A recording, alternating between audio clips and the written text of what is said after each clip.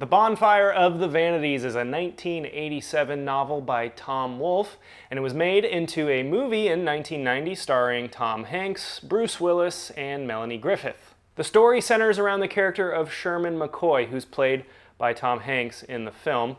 He's a big shot bond trader on Wall Street, a master of the universe, he calls himself. He lives in a luxury apartment with a beautiful wife and daughter, and he has a side chick named Maria, played by Griffith in the movie, who he cheats on his wife with regularly. So, a stand up guy that you're really rooting for. One night, while driving Maria home from the airport, he takes a wrong turn and ends up in a bad part of New York City. He has to get out of his car at one point and encounters couple of young black men who frighten him.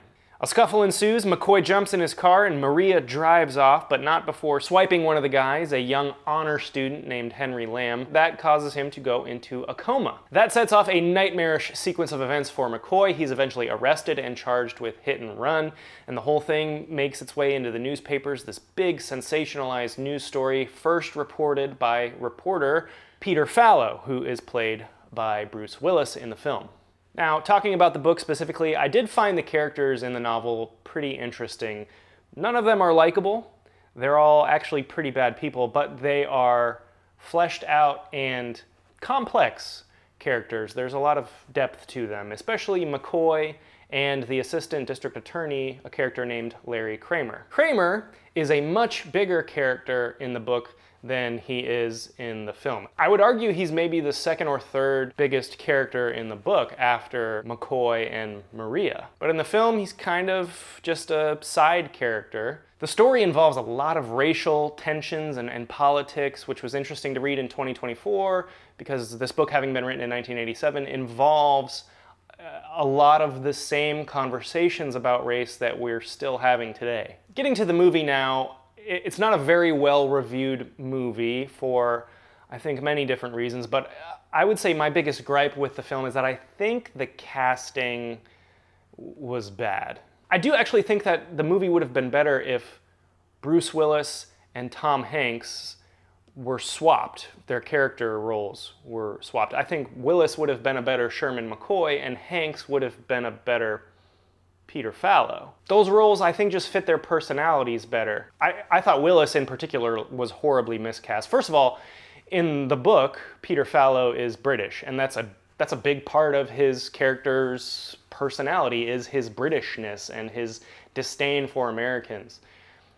He's just a regular American in the movie, and he, they actually make him a, just a dumb party boy drunk in the movie, which there are elements of that to his character in the book, but it's kind of brought to an 11 in the film. The first opening shot of the film is this long tracking shot of him getting out of a limo to give a speech, and he's just tanked, which is a scene that does not appear in the book. And I thought it was a strange choice to bookend the film with Fallow's character. I mean, this, the story is not about Peter Fallow I didn't care for the, the music in the film. I didn't think it fit the mood. The Henry Lamb in the movie, in my opinion, was not representative of the, the boyish, wide-eyed, scared Henry Lamb that's described in the book. Another issue I had with the film is, so Morgan Freeman plays the judge, and the, the judge in the book is a very boisterous, loud, angry judge who's constantly yelling at lawyers and uh, people in the courtroom, and they just make Freeman's judge very unprofessional, in my opinion. Now listen to me, you son of a bitch. And you're gonna kiss my ass and thank me that I didn't put you away for 25 years. Quick side note, F. Murray Abraham in his role as the district attorney, I thought was excellent. I thought he gave the best performance of any of the actors in the film and provided the most humor as well. A few of the more noticeable differences between the book and the film. There's a scene in the film where, where Fallow has a, a change of heart about how he has been reporting on this story about McCoy. He's on a train with McCoy. McCoy is not aware of who he is. Fallow starts having some sympathy for McCoy in this situation. And that is kind of an integral part of the film because it significantly alters the character of Fallow, having grown through this experience and, and having a change of heart. In the book, Fallow never feels badly about how he's written the story, and he never has a, a solo conversation with McCoy. Because of this change of heart, Fallow is the one who actually ends up providing the audio tape to the judge that essentially proves McCoy's innocence. That tape is not provided by Fallow in the book. McCoy is the one who thinks of it. Similar endings, but different set of circumstances on, on how you get there. And there is a very memorable scene in the film, probably the most memorable scene in the whole movie, where Sherman McCoy is, is they're having a party at his apartment and he's starting to go crazy because he's facing potentially going to prison.